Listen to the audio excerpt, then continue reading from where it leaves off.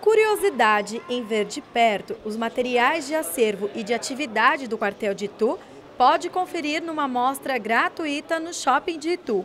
O objetivo da exposição é trazer o quartel para mais perto da sociedade. Nós estamos expondo em função da Semana da Pátria, mais especificamente 7 de setembro. Alusivo à Semana do Brasil e à Semana da Pátria, o Plaza Shopping e o quartel se uniram para trazer um pouco do cotidiano do Regimento Deodoro aqui para a comunidade. A mostra Exército Brasileiro ocorre em comemoração à Semana do Brasil e da Pátria. Dentre diversos itens, a população pode se deparar com peças do segundo grupo de artilharia de campanha leve, o Regimento Deodoro de Itu.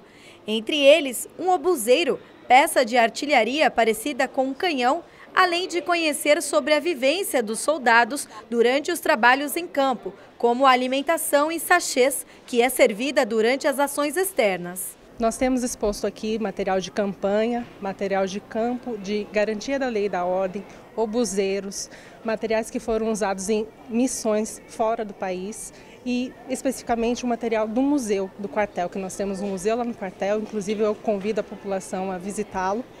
E, então tem várias coisas peculiares do exercício da missão do Exército.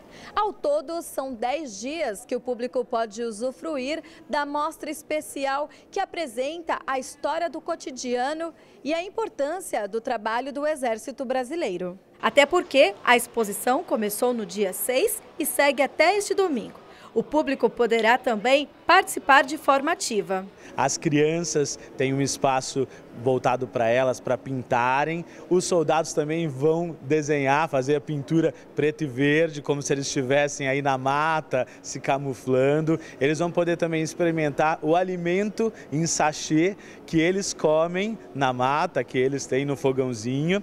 E eles também vão pintar aí alguns desenhos e ter contato com os livretos do próprio exército.